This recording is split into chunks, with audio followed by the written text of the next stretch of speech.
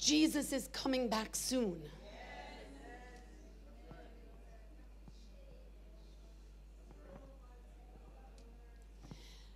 And our faith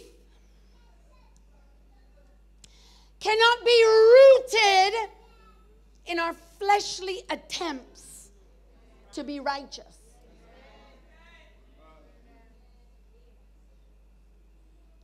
God wants our faith to be anchored in the cross.